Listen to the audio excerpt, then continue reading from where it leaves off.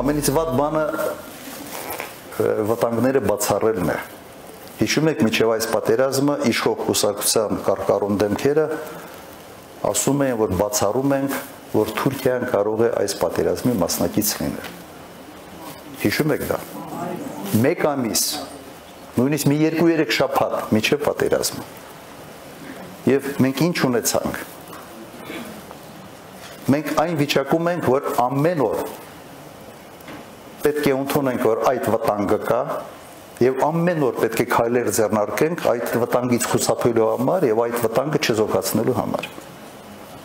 Սա պետական խնդիր է եւ եւ գիտեք, երբ որ մեկ-մեկ ես ծանոթանում եմ այն օրակարգային հարցերի հետ, որոնք քննարկվում են խորհրդարանում կամ կառավարությունում, ուղղակի շշմում ես ասում ես, ես, ես ինչ եք քննարկում այ ժողովուրդ։ Ինչի մասին եք խոսում։ Առաջնահերթությունների հարցը